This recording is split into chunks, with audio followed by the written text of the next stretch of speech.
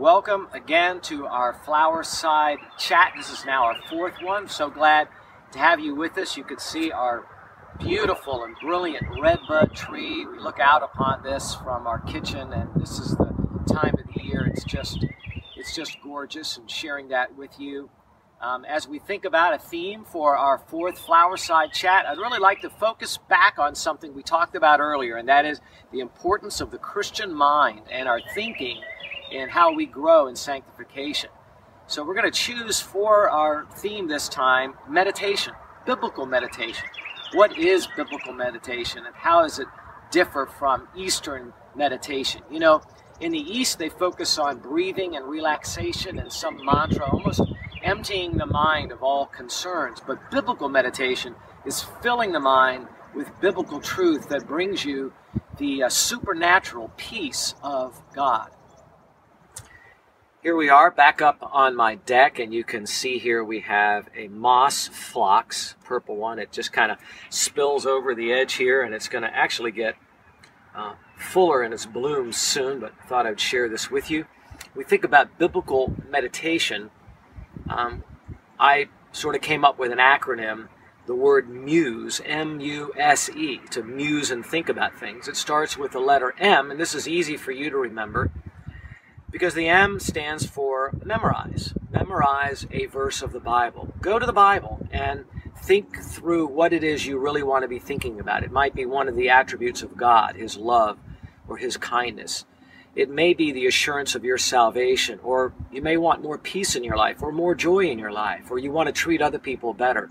And so you choose what we call a bullseye verse or a jugular verse, one that just nails it on the head in terms of what you need to learn. Memorize that verse. Work on it over and over again. When you memorize scripture, it's like you own that scripture for yourself. It becomes like your Bible verse.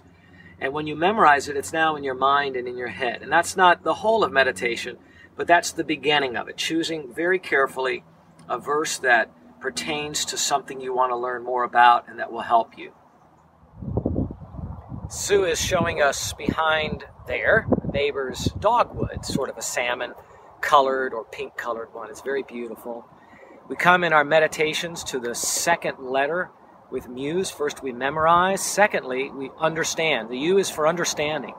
Scripture means something, and that's what we need to be thinking on. So that means you need to take time to understand the verse that you've memorized.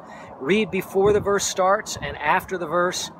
Uh, read a commentary if you need to. Talk to somebody that understands that passage well and understand it to make sure you're interpreting it properly so that your thoughts can truly be God's thoughts. The third letter in Muse is S, and it stands for speaking. Speak the truth of God's word to yourself.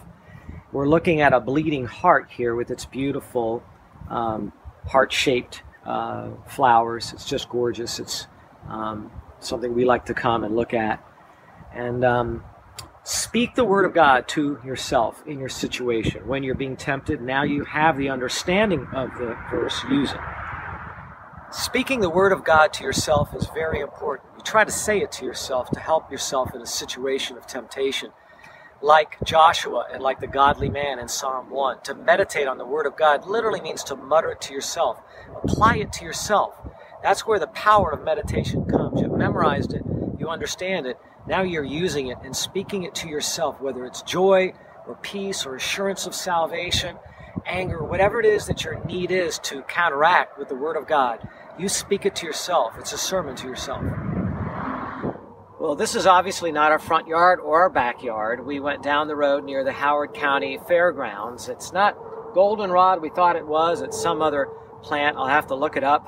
Um, but the last letter in our discussion of meditation in M-U-S-E, Muse, is experience.